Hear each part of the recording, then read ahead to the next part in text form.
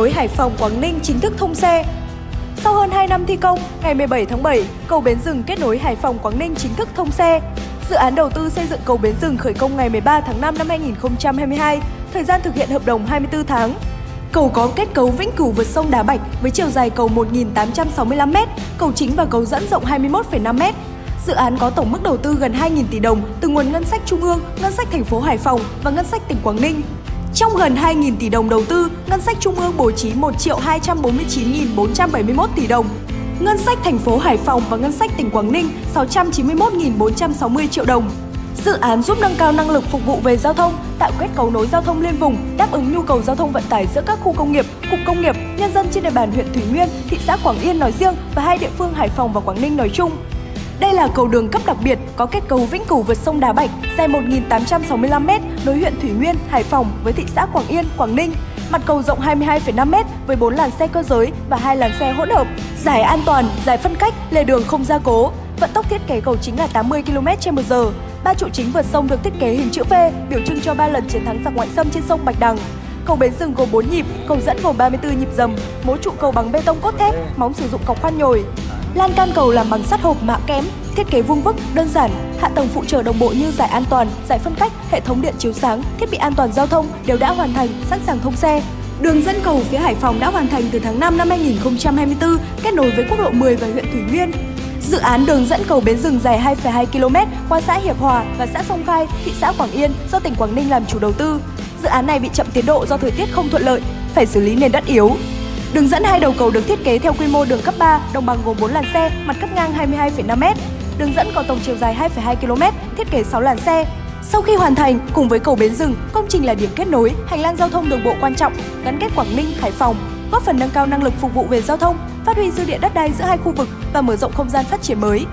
Đây là cây cầu thứ ba kết nối Hải Phòng với Quảng Ninh sau cầu Đá Bạc và Bạch Đằng. Công trình hoàn thành sẽ giúp người dân huyện Thủy Nguyên, thị xã Quảng Yên qua lại nhanh chóng, không phải chờ phà dừng từ 30 đến 60 phút hoặc phải đi 40 km sang quốc lộ 18 rồi vòng ra quốc lộ 10.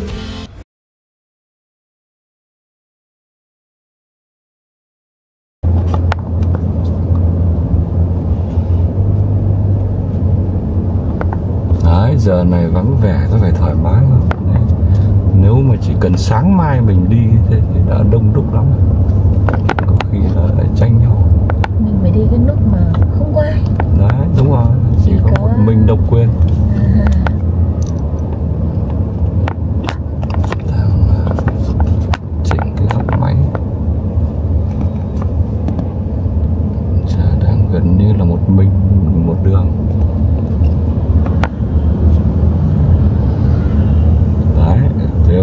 Dân đi xe máy đây tôi cũng đang nghi là họ cũng cũng đi để tham quan đây này.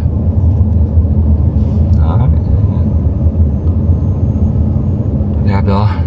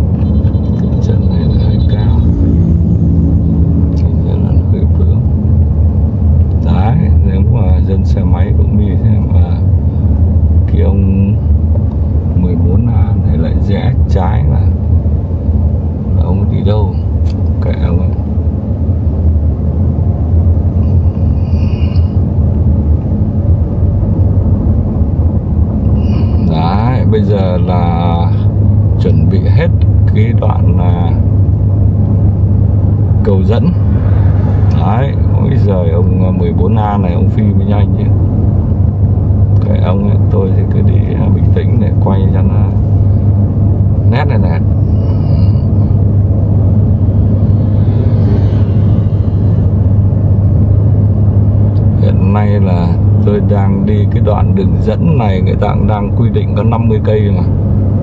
Mình đang đi gần gần giờ 45 47 à, cây rồi cái máy à, này nó quay nó sáng hơn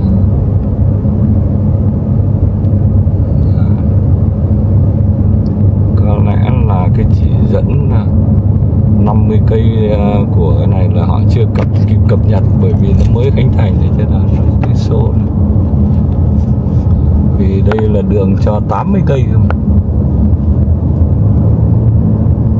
Đấy, chúng tôi đã lên cầu. Và tốc độ cho phép là 80 tức là cái ông uh, Việt Map này là chắc cái này là chưa kịp cập nhật. Đấy, bây giờ tôi bắt đầu tôi sẽ đi nhanh một chút Đấy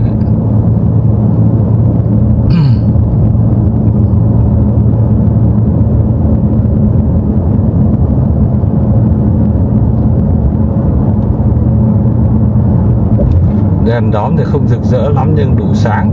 Này thế còn các ông ấy bảo là các ông ấy làm những cái cầu dây văng này theo cái hình tượng gì?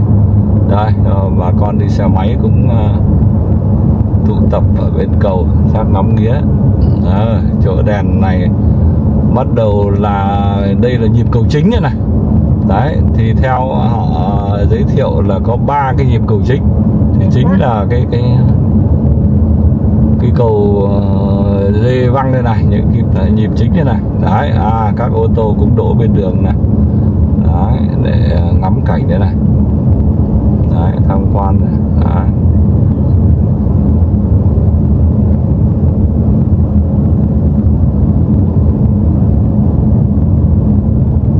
đấy thế là mình đi hết ba cái nhịp cầu chính bây giờ là bắt đầu xuống dốc rồi.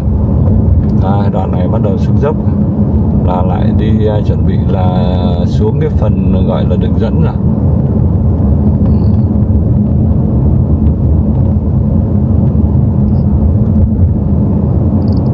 đấy bây giờ tôi đi sang cái luồng này ra thoải mái để bà con đi xe máy cũng không có ảnh hưởng gì mình cũng không phải xin đường cái theo gì.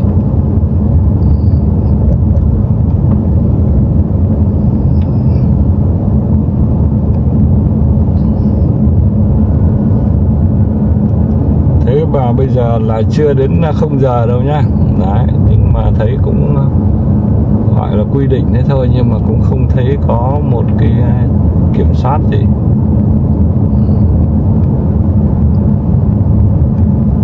Và đương nhiên là cầu này là miễn phí. Không thu phí. Này, bắt đầu có những cái rào chắn gì đây là đang còn xây dựng tiếp. Đây bề biển là 50 cây.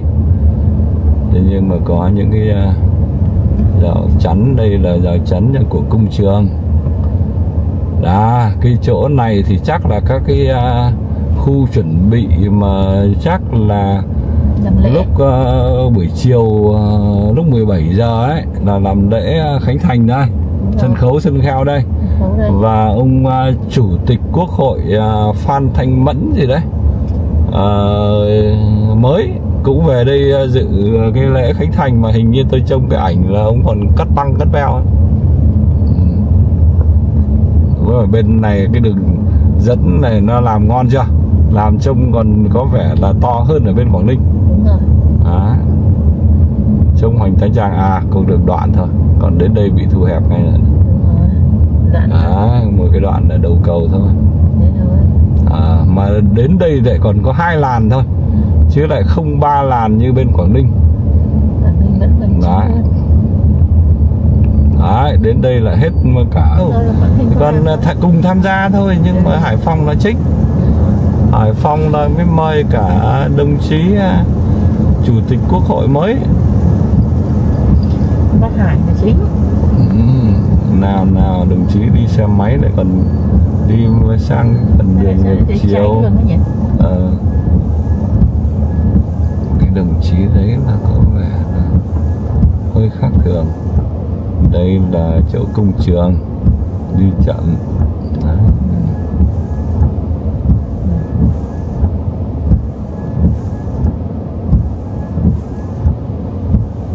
chắc là mấy đồng chí đi xe máy này có tính chất hình như là hơi lạc đường hay như thế nào đó. đổ hết cái cây rồi hả đầu cả cái cây chắn đường nữa. cái chắn đường nào?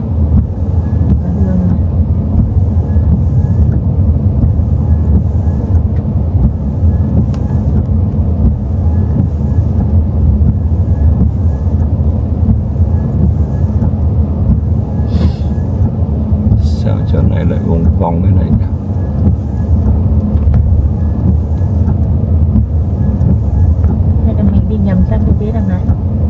Mình đang đi đường thẳng chứ có cái gì là chậm đâu. Ừ. chỉ có cái là đây này cái chỗ cái đường dẫn đà. Thế có nghĩa là đây này nãy vì cái nhà kia che đây này à, cái cái bùng binh đây. À, em nhìn thấy chưa? Rồi. Đó thế nhưng mà hiện nay là họ đang làm cái rào chắn thế này. Rồi. Bây giờ mình sẽ phải tìm cách để mình sẽ đi sang vòng cái đáng nhẽ ra họ mở cái rào chắn này. Ừ, hiểu chưa ừ, đấy thì mình sẽ xuyên luôn cái rào chắn để mình lên cầu. Ừ. tức đi theo cái bùng binh này. Nhưng hiện nay là họ đang rào chắn cho nên chỗ này mình sẽ phải đi ờ, chấp nhận mình sẽ đi theo cái đường này một đoạn để tìm cái lối mình quặt lại. Thì nó sẽ là đi men cái lối kia thì vẫn đây này nó có cái lối ngoặt lại luôn đây này. đấy. Đây này đó. Ừ, đấy. Còn đường tiếp tục cho nên là tại sao anh mới bảo là đi đường phải quan sát đó chính ở chỗ đó đây, cái di tích gì đây một cây số, cái không quan trọng Đấy. đây, mình sẽ đi sang bên này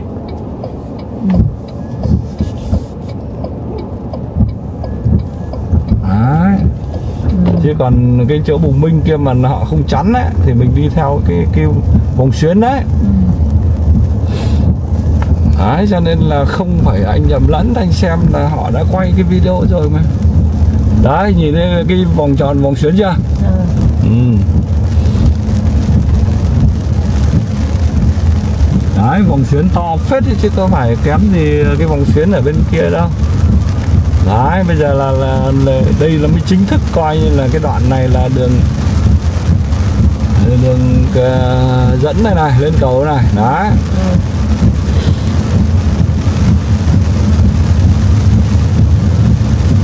Thế có nghĩa là đường dẫn lên cầu của bên này là ngắn thôi, Không dài như bên Quảng Yên. Đây, cầu bến rừng Đây, thấy chưa? Nhìn thấy chưa? Biển chưa? Đấy.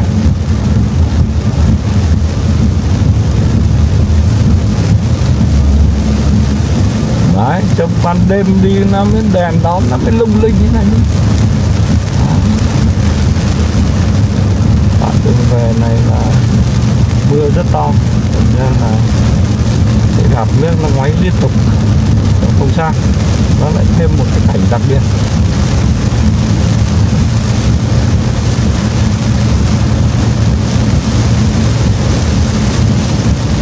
Đó, thế xong là đến cái à,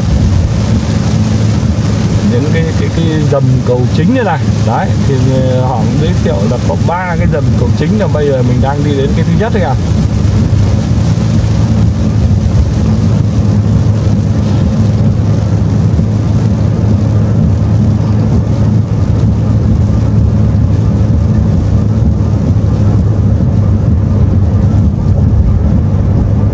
đó trông đèn nó lại rực rỡ mà lại ờ, mùa lại ngớt mưa rồi. Quá tốt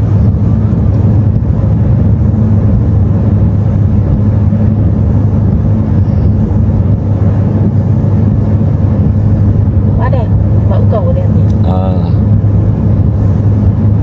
họ mở là cái cái cái ngay cả cái cái những cái cái ờ, cầu mố cầu dây văng này này nó cũng theo cái hình thù mà có ý nghĩa gì đó. Đúng rồi. Mình mình mình mình quên mất rồi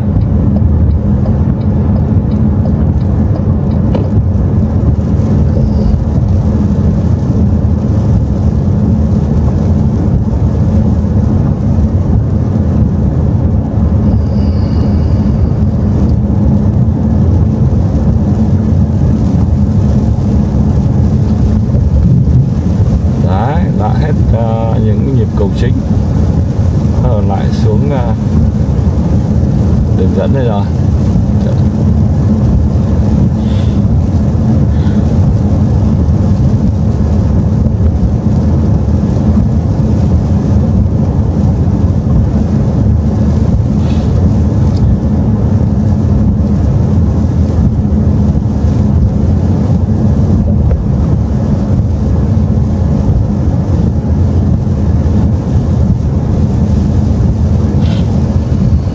lạnh quá Đây, em tăng nó lên vặn ờ, ngược chiều kim đồng hồ đi à vặn vặn chiều kim đồng hồ cái núm này này. Ờ vặn tăng nó lên. Đấy nhìn vào cái nhìn vào cái cái cái cái, cái, ờ, số đấy. Ờ, chiều nào để nó tăng lên. Ừ, thế thì vặn, vặn lại đi vặn chiều ngược lại đi. Như thế là vặn nó đang giảm. Nó lại còn lạnh nữa. Đó đúng rồi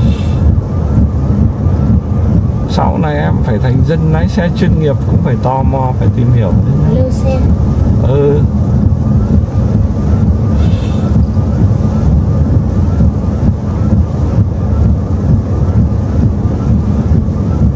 Đấy chỗ này là gần cho có 40 cây.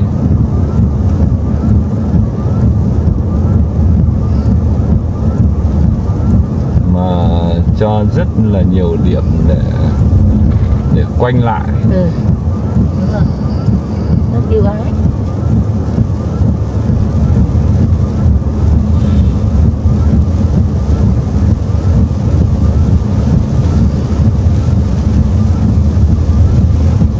nhưng mà sang bên này á cái đường dẫn này mới làm là trông nó to hơn. Đấy nó bằng luôn ở với với lại cái à, cái độ rộng của cầu còn à, qua thủy nguyên qua cái bùng binh cái là hẹp ngay. Thì tức là được có một Tức đoạn đường rất ngắn. ừ. đường cũ. đấy sao các cái đèn này lại để tắt? tắt tắt tắt điện tắt. Điện đường tắt. Không hiểu là do tiết kiệm hay là do mưa gió rồi lại sự cố về điện. Không cẩn thận là do sự cố nên vì tiết kiệm thì nó phải có giờ chứ bây giờ cái giờ đã qua cái giờ không giờ rồi. À, tự nhiên lại thấy tắt đi thì là cái chỗ này là anh thấy hơi nghi ngờ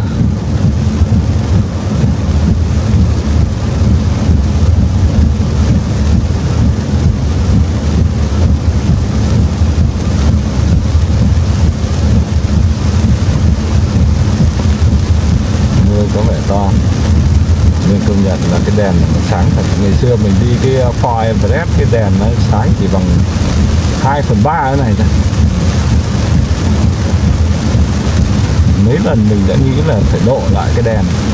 Nhưng mà đèn của cái này như thế này, sáng giật cái này thì không cần độ. Mà thậm chí là đã cảm thấy nó quá sáng. Á. Dương tỉnh 338 một km đấy tức là là trước mặt là một cây là đến cái ngã ba. Coi như là thuộc về cái đường gọi là đường tỉnh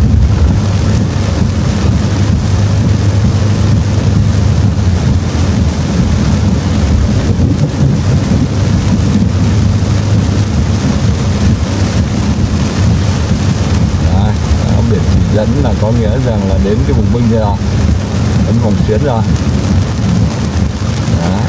rẽ trái thì đây sẽ ra quốc lộ 18A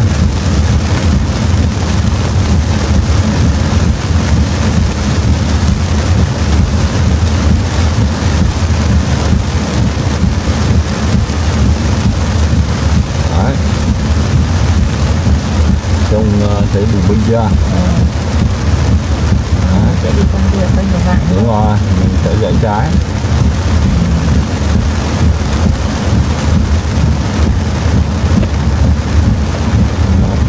mình mình trả qua nhưng mình cứ đúng luật và mình vẫn cứ xin đường xin nhan hết đàng hoàng một mình mình một đường.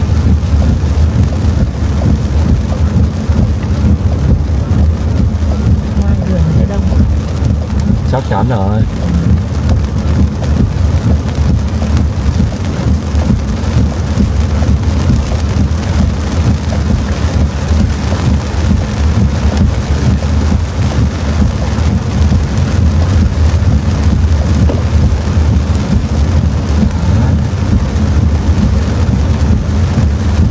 Làm đi theo lối đi à, ra đường 18 à, về Vũ Bí rồi mình ơi Tim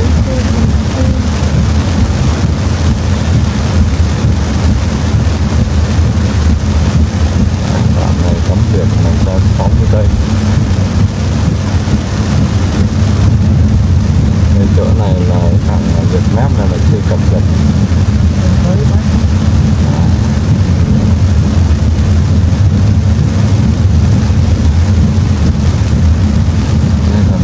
tô này nó đổ lại là có lý do gì không biết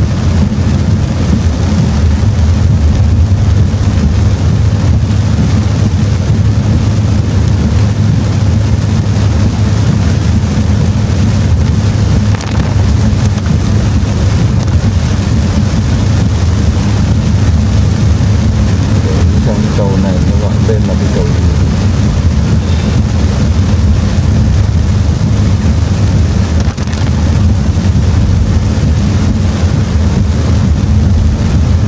đây có tên cầu đây này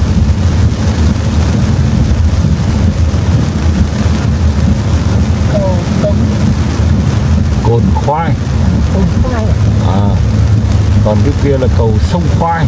À cái này là cồn khoai, tức là chắc là cái cồn cồn cát, cồn gì đấy. Như cồn đất, cồn đá gì ngày xưa đều khoai cả.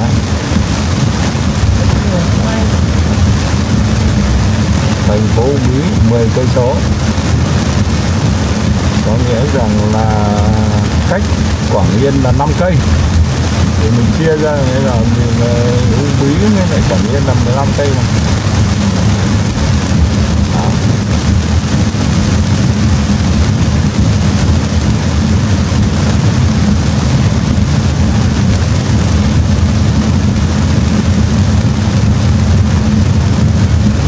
Đấy chúng tôi lại đi à, qua một cái lối à, vào kia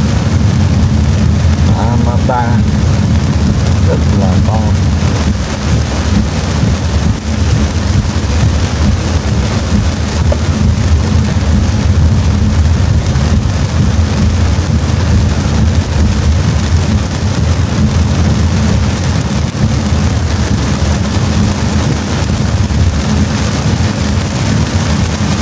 đây là mênh mông ấy.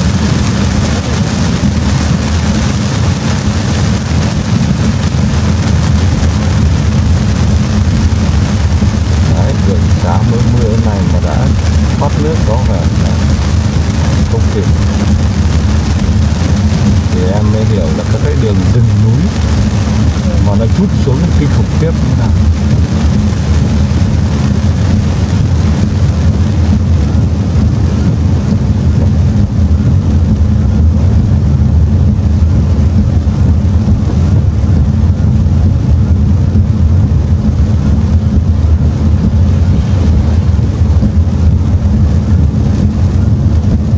Rồi, đây cái lối vào này, trông nó mênh mông chưa?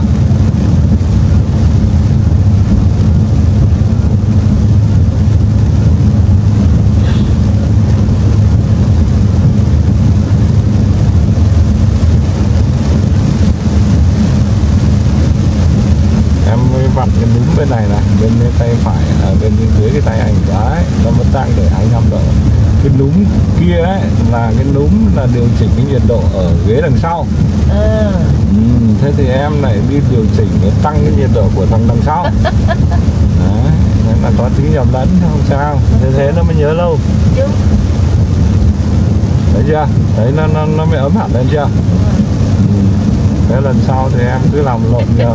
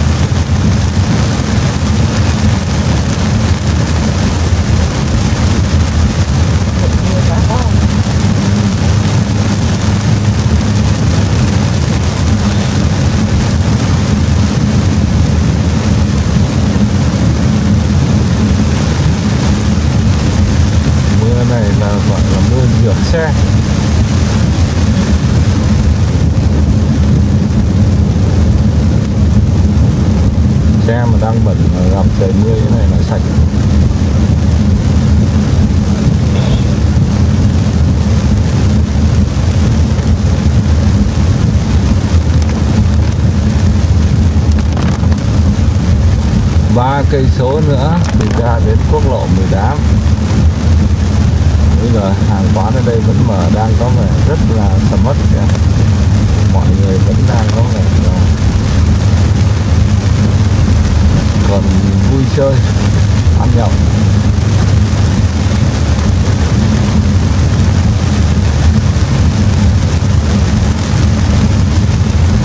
Cái núm à, điều khiển điều hòa ở đây á, là nó có à, hai cái núm, một cái núm bên ờ, cạnh em và cái núm cho đằng sau, dưới đằng sau. Còn núm bên ờ, gần anh với là bên dưới lái. Là cho cái khoang đằng trước. Thế cũng có thể là điều chỉnh để cho vặn là nó sẽ đồng bộ cả trước cả sau, nhưng mà có nghĩa là nó rất linh hoạt.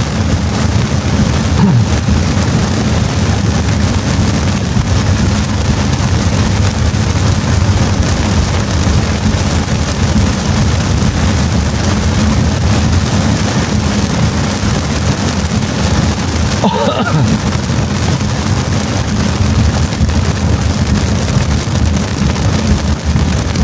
chung là cái khu công nghiệp này bắt đầu nó đi vào hoạt động cái này nó sẽ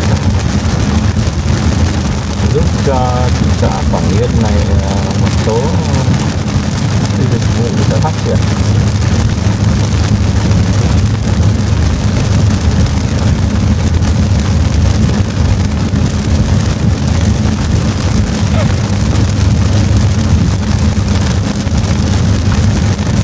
Đấy trước mặt là ta lại nhìn thấy cái khu uh, của công nhân Trung Quốc này. Để thấy chưa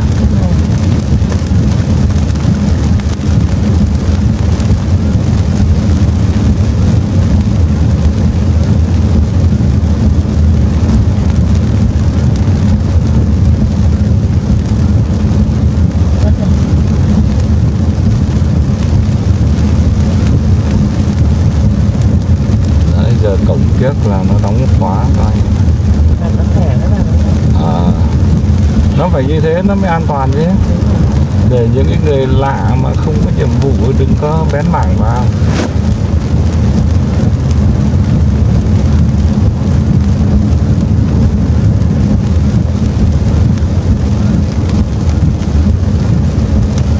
Đây trước mặt lại có cái gì đây? Bê tông à là là là, là cái ông ờ, Đông Mai sản xuất bê tông này. Trông cơ sở trông cũng to đấy. Ông này ông gần như là là là ông độc quyền ông bí. Mấy khu vực Quảng Yên này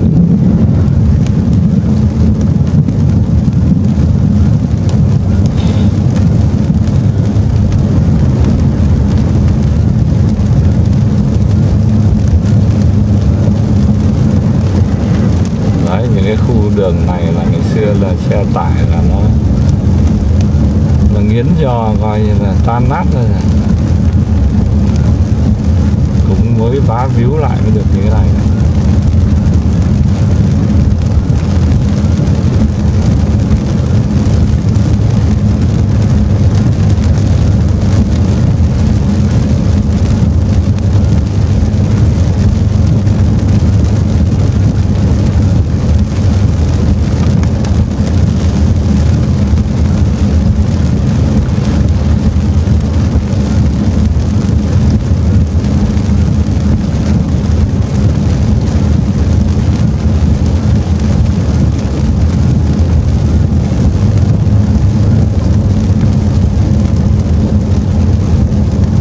Đúng lý Thế là Ờ,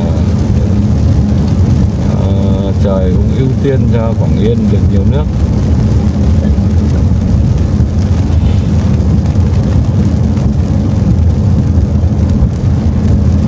Cây xăng.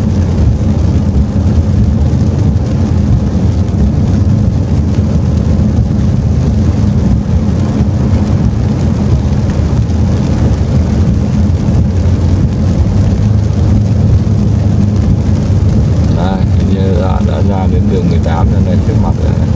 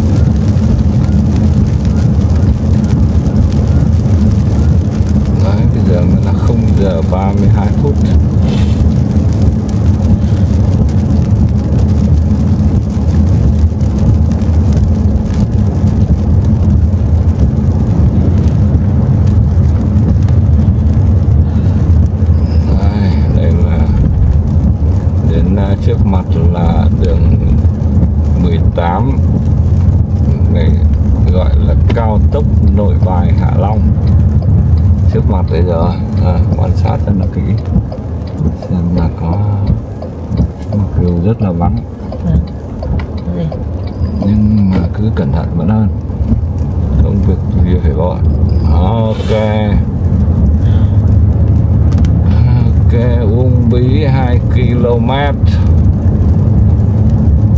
Trong màn đêm lung linh ông này ông sang đường sao đấy Ừ. Xăng. chắc thế ông xăng hay là ông rẽ vào? À cái xăng hoặc là ông rẽ vào nghỉ ngơi.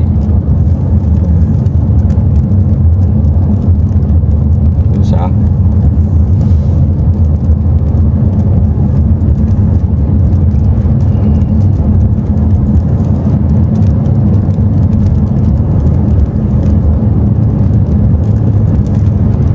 đèn đường tắt hết cả rồi tôi om sập sòm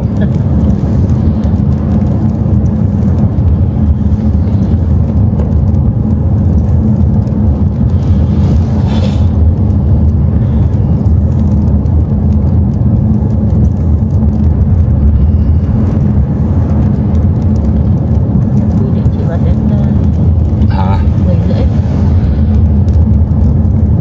cái gì mười rưỡi điện À, ờ, đáng lẽ ra ấy, thì ờ, uh, 10 giờ thì họ sẽ cắt một nửa ừ. tức là thí dụ như là 50 mét một cột điện một cột uh, bóng đèn thì có nghĩa rằng họ sẽ cắt một nửa thì nó sẽ thành ra 100 mét mới có một một đèn sáng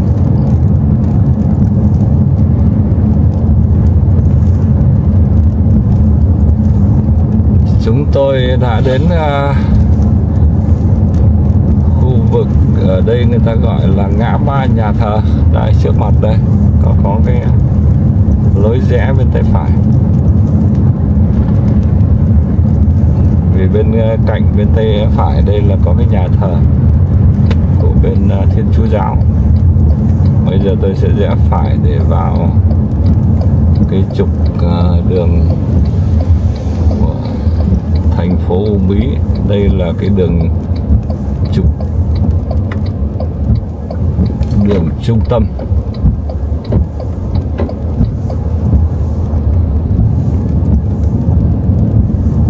Của đường nội thị thành phố Uông Bí. Trước mặt bên tay trái là trụ sở của công ty than Uông Bí. Ồ dạo này đèn đóm cũng sáng choang ấy nhỉ.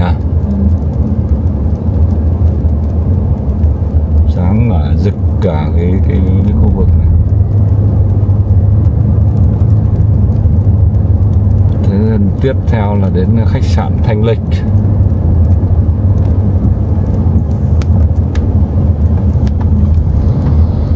Và cái bà ngồi cạnh tôi đây. Đang phụ trách. Là chuẩn bị à, đến cột đồng hồ của Mỹ là đến à, nhà tôi. Nhà, nhà em ở cuối chân trời. À,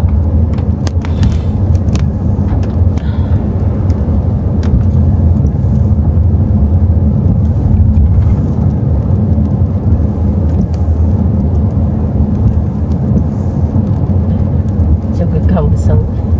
À. Ờ, thế nhưng mà cũng là bằng vạn ngày xưa cái thời ngày xưa thì trông cái cầu này còn khổ nữa đúng rồi vì sao họ mở rộng đấy ừ, mở rộng bao nhiêu chứ ngày xưa thì chỉ có một cái ô tô tải mà đi đã chặt rồi. Còn chủ yếu là phải đi vào cái lối à, cái à, gì đấy nó gọi là cái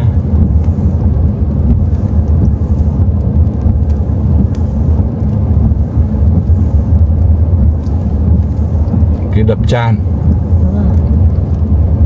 bây giờ già rồi. Cái từ ngữ nó coi nên cái bộ nhớ nó về.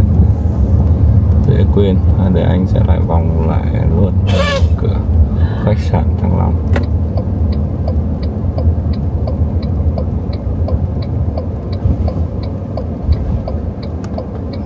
Đấy chậm cái là bắt đầu nó hiểu là nó